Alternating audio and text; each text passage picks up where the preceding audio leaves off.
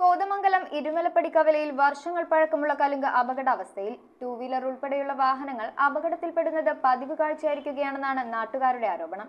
അപകടാവസ്ഥയിലുള്ള കലുങ്ക് ഉടൻ പുനർനിർമ്മിച്ച് സഞ്ചാര സുഗമമാക്കാൻ നടപടിയെടുത്തില്ലെങ്കിൽ ശക്തമായ സമരപരിപാടികളുമായി മുന്നോട്ട് പോകുമെന്ന് യൂത്ത് കോൺഗ്രസ് നെല്ലിക്കുഴി മണ്ഡലം പ്രസിഡന്റ്. ഇരുമലപ്പടിയിൽ നിന്ന് പുതുപ്പാടിയിലേക്ക് പോകുന്ന പി ഡബ്ല്യു ഡി റോഡിൽ ഇരുമലപ്പടി കാളമാർക്കറ്റ് സ്ഥിതി ചെയ്തിരുന്ന ഭാഗത്തെ വർഷങ്ങൾ പഴക്കമുള്ള കലുങ്കാണ് അപകടാവസ്ഥയിലായിട്ട് വർഷങ്ങളായിരിക്കുന്നത്. കോടികൾ ചെലവഴിച്ച് നവീകരിച്ച റോഡിൽ ഇത്രയും പഴക്കം ചെന്ന അപകടം വിളിച്ചു വരുത്തുന്ന കലുങ്കിനെക്കുറിച്ച് നാട്ടുകാർ പരാതിപ്പെട്ടിട്ടും അധികൃതർ നടപടിയെടുക്കാത്തതിൽ വ്യാപക പ്രതിഷേധം ഉയർന്നിട്ടുണ്ട്. ദിവസവും വലിയ ടോറസ് ഉൾപ്പെടെയുള്ള ഭാരവാഹനങ്ങൾ നിരന്തരം സഞ്ചരിക്കുന്ന റോഡാണിത്. കലുങ്കിന്റെ കരിങ്കൽ കെട്ടും കോൺക്രീറ്റും തകർന്ന് റോഡിന്റെ ടാറിംഗ് ഭാഗം താഴ്ന്ന് വലിയ കുഴി രൂപപ്പെട്ടിരിക്കുകയാണ്. ഇവിടെ ടൂ വീലർ ഉൾപ്പെടെയുള്ള വാഹനങ്ങൾ അപകടത്തിൽപ്പെടുന്നത് പതിവ് കാഴ്ചയാണെന്നും സമീപത്ത് കച്ചവടം നടത്തുന്ന ഷാജഹാൻ പറഞ്ഞു.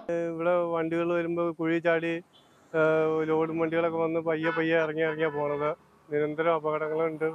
ഇതൊന്നും ശരിയാക്കാൻ അധികാരികൾ ഇതുവരെ ആരും വന്നിട്ടില്ല ഒന്നും നോക്കിയിട്ടുമില്ല.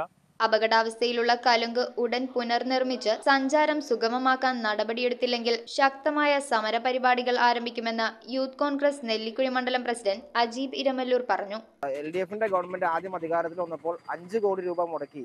യു കുർലാന്റെ നേതൃത്വത്തിൽ അഞ്ച് കോടി രൂപ മുടക്കി ചെയ്ത റോഡാണ്. ഇത് ഭയങ്കരമായ അപകടാവസ്ഥയിലാണ് റോഡ് ഇരിക്കുന്നത്. അതിനുശേഷം കോടികൾ മുടക്കി ഈ റോഡ് പുനരുദ്ധാരണം ചെയ്യുകയും ഈ പാലം യാതൊരുവിധ നടപടികൾക്കും ഇവർ പി ഡബ്ല്യു ഡി വകുപ്പോ അല്ലെങ്കിൽ തന്നെ മന്ത്രിതലത്തിലോ സർക്കാർ ഇടപെടലോ ഒന്നും നടത്തിയിട്ടില്ല ഇതുവരെ. അതിന്റെ കരിങ്കല്ല് വളരെ വെള്ളം പോയി. ഇവിടെ വെള്ളം കയറുന്ന പ്രദേശമാണ്. വെള്ളം കയറി അടിയിലുള്ള മണ്ണുകൾ കംപ്ലീറ്റും ഇടകിപ്പോയിക്കൊണ്ട് വലിയ രീതിയിലുള്ള അപകടമാണ് അപകട രീതിയാണ് ഇവിടെ നിലവിൽ കാണാൻ നമുക്ക് സാധി- സാധിക്കുന്നത്.